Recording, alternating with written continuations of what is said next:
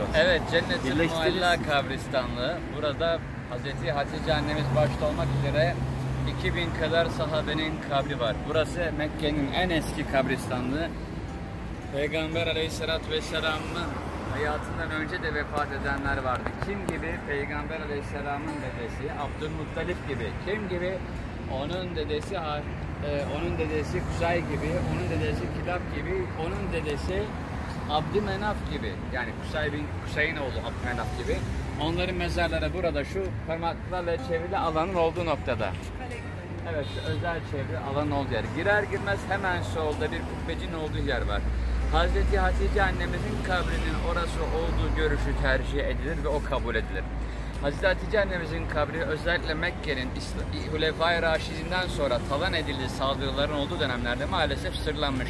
Sonradan keşif yoluyla Şah Ebu Ayyub el Ensari'nin kabrinin keşfi gibi o şekilde bulunmuş. Hemen yan tarafında aynı hazirenin içerisinde, içerisinde ise Peygamber aleyhisselam 7 çocuğu vardı. Onlardan 6 tanesini hayatındayken defnetti. Çok ağır imtihan. O 7 çocuğunun 6 tanesi Hatice annemizdendi.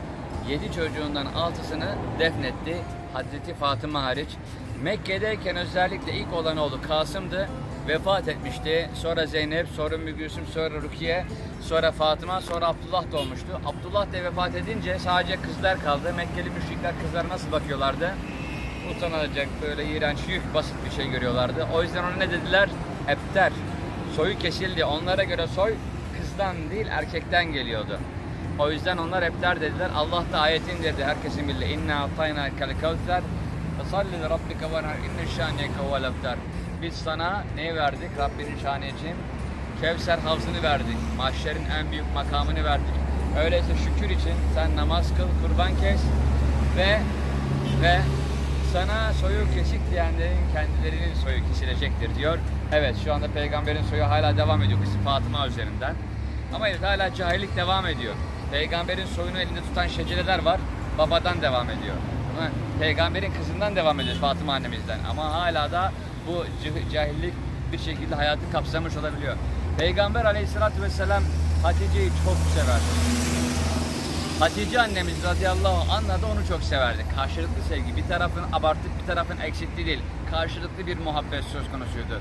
Allah Resulü bunu arka tarafta bulunan ta ilerideki Nur Dağı'nın tepesine çıktığı zaman Hazreti, Hazreti Hatice annemiz onun yanına çıkardı, erzak getirirdi. Efendimiz Aleyhisselatü Vesselam da onun geldiğini gördüğü zamanlarda iner onu aşağıda karşılardı. Hani kumanda nerede, havlu nerede, bu nerede, kadın bu nerede bir adam gibi birbirini inciten, birbirini kıran ve döken bir yuvanın olmadığını görüyoruz Peygamber Aleyhisselam'ın hayatında. O mağaranın olduğu yere çıktığı zaman evinin damında güneş altında bekleyen bir Hatice'yi görüyoruz. Neden böyle yaptığını sorduklarında efendisinin güneşin altında bulunduğunu o yüzden o sıcaktayken nasıl soğuk bir su içeceğini ve gölgede bulunacağını anlatan bir Hatice'yi görüyoruz. Hasreten Peygamber Aleyhisselatü Vesselam'ın hayatındaki en ağır imtihanlardan birisidir ona göre. Senetül hüzün der siy- siyerciler. Hüzün senesi Hatice'sini kaybettiği sene için. Mekke'nin fethi için buraya geldiğinde Raya Mescidi'nin olduğu yere sancağı dikip orduyu planladığında o gece çadırını nerede kurdurmuştur bilir misiniz? Neticesinde kabrinin yanına koymuş. Nasıl hasret gidermiştir Allah bilir. Peygamber aleyhisselam evindedir. Kapısı çalar. Bir anda heyecanlanır. Herhalde bu Hatice'nin kardeşi Hale'dir der. Nasıl bir zarafet, nasıl bir iffet var ki, nasıl bir edep, muhteşemlik var ki asalet. Kapıya vuruşları bile onlara munhasır. Böyle bir şey var mı? Şimdi bağıran kesin bizimkidir. Bu çağıran kesin bizimkidir mantalitesinin olduğu bir yuvadan ne bekleyebilirsin ki? Peygamber aleyhisselam Mekke'nin fethine giriyor. Müşrikleri toplamış ve entüm tulaka hepiniz serbestsiniz diyor.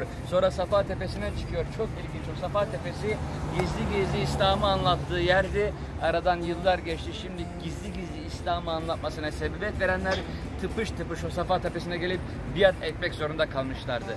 Oradayken Peygamber aleyhisselam birisi geldi, ridasını çıkardı, yere serdi, üzerinde ağırladı. Kimdi bu diye sorunca Ayşe annemiz bu Hatice'nin akrabasıydı. Onu yad etti. O şiddetli, heyecanlı, hararetli Mekke'nin fethi gününde bile. Ayşe annemiz o kadar çok Hatice'den bahsetti ki Efendimiz Aleyhisselam'ın 13 evliliği vardır. Bir tanesi Hatice ile yaptı. Medine'ye geçtikten sonra 10 yıl içerisinde yaptığı evlilikler vardır. Siyasidir, kültüreldir, toplumsaldır. Şehvetle alakalı değildir. Öyle bir şey olsaydı Peygamber Aleyhisselam Mekke'de daha fazla yapabilirdi. Evlilik sınırının olmadığı bir dönemde. Nübüvvetin sorumluluğu, devlet planlarının sorumluluğu vesaire hala da devam eder akrabalar arasında aile ilişkileri için. O dönemde ülkeler arasında bağları böyle kurmaya çalışırlar idi. Peygamber aleyhissalatü vesselam o kadar çok Hatice'sini anar ki Ayşe der ki ölüp gitmiş bir kadın hakkında artık yeter der. Hani Allah sana daha gencini ver diye getirince gözleri dolar Allah Resulü'nün kısa kesmeye çalışıyorum. Der ki herkes beni terk edip reddettiğinde bana iman etti. Malıyla canıyla yanımda oldu. Çocuklarımın da evladı diye onun ön plana koyar. İşte Muhammed Aleyhisselam olunca erler, Hatice olunca hanımlar yuvalar imar edilir. O yuvalardan olur biliyor musun abi? Müşrikler seni öldürmeye çalışır. Fasıklar sana plan yapar. Herkes üzerine çullanır. Ama evden içeri bir girersin, Hatice'yi gördüğün bütün sıkıntı gider. Sana cennet olur. Ya ne diyorlar? Evlilik ya zindandır hayat boyu ya da saraydır. O yüzden Allah Resulü'nün tavsiyesine uymak lazım. Niçin evleneceksin? Güzelliği için mi? Malı için mi? Soyu için mi? Dini için mi? Sen diyor dini için olanla evlen. Geri kalan hepsi değişir çünkü. Evet, Hazreti Hatice annemizi ve burada bulunan 2000 kadar sahabeyi Kemal Edep ve Selam her birine aratacağımız bir şey. Abdullah bin Sübeyir ayrı, efendim mesela Ebu Talib ayrı anlatırız. Bir sürü kişi var burada anlatabileceğimiz. Ta Kusa'ya kadar gidebiliriz burayı inşa için. Ama vaktiniz az, hiç gelmemektense az gelmek iyidir. Selam verelim. Esselamu Aleyküm ve Rahmetullahi ve Berekatuhu ya ehlel kubur. Esselamu Aleyküm ya ümmetil müminin. Haticetil Kubra. Cezakallahu khairan annen khairu ceza. Allahümme arda anhum ve erfa derecatahum ve ekrim ثوابهم واكرم اللهم ارضى عنهم وارفع درجاتهم واكرم مقامهم واجزل ثوابهم. السلام عليكم ورحمة من إليكم. ربنا اغفر لنا ولإخواننا الذين سبقونا بالإيمان ولا تجعل في قلوبنا غلا للذين آمنوا. ربنا إنك رؤوف رحيم. اللهم Allahümme إنا نسألك العفو والعافية في الدنيا والآخرة إنا إن شاء الله بكم لاحقون أنتم سلفنا ونحن بالإسر يغفر الله لنا ولكم ويرحم الله المستقدمين منكم والمستغفرين ونسأل الله لنا ولكم العافية Allah'ım senden rahmet meleklerden istiğfar müminlerden duasın. Şurada bulunan mualla halkından başta Hatice annemiz olmak üzere bütün ehli imana, şühedaya, sülehaya, ummara, huccaca. Onlar hakkı yaşadılar, rızanı erdiler. Senin vahyinle, Cebrail kanalıyla peygamber ulaştığı müjdelere erdiler. Bize de onların erdiği nimetlere ermeyi eriştikleri şerefe nail olmayı, onlar gibi son anımıza kadar imanın hakikatlerini taşımayı ve son anımızda eşhedü en la ilahe illallah ve eşhedü enne Muhammeden imanı kamil emanet teslim etmeyi nasip eyle. Amin. Yuvalarımızı onların kurduğu yuvalar gibi kurmayı nasip Amin. eyle. İşlerimizi onların hedefleriyle hedefleyerek imar etmeyi ihsan eyle. Amin. Onların okuyup anladığı Kur'an'ı onların okuyup anladığı şekilde anlayabilmeyi. Amin. Ruhumuzu iman, çevremizi inşa, ahiretimizi Amin. ya Rabbi. Amin. Çoluğumuza, çocuğumuza, eşimize, dostumuza, sevdiklerimize, sevenlerimize onların sevgisini ver kalplerine. Amin. Batılın, küfrün, fıskın ve cehaletin peşinde koşanlardan değil, Hatice Tül Kübra'nın ve burada bulunan diğer sahabenin peşinden gitmeyi yüreklerine dert edinenlerden eyle bizleri ve Amin. çevremizdekileri. Buradaki bulunan zevattan Allah ve Resulü razı olmuştu.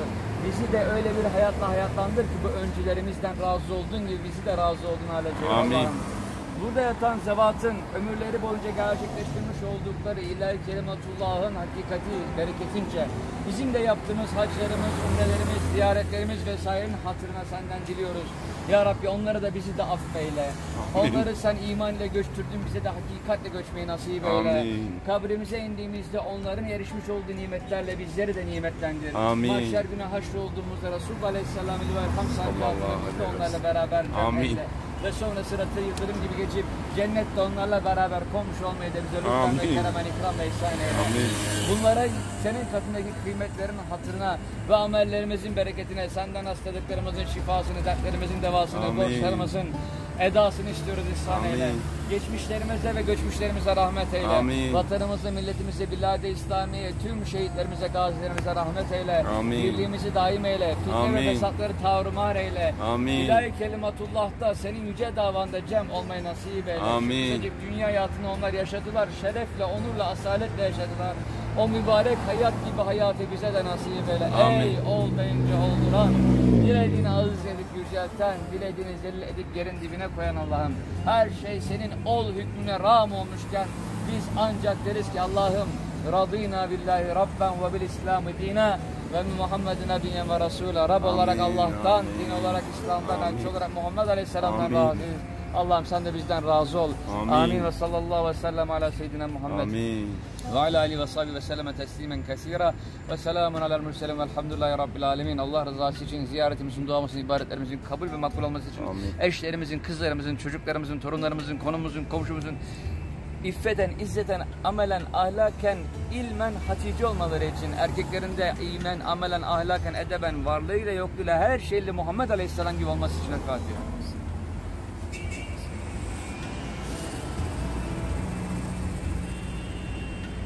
Allah ziyaretimizi kabul eylesin. Onların kutlu hayatından nasipler eylesin. Kısanın kısanın kızadın özeti ancak bu kadar.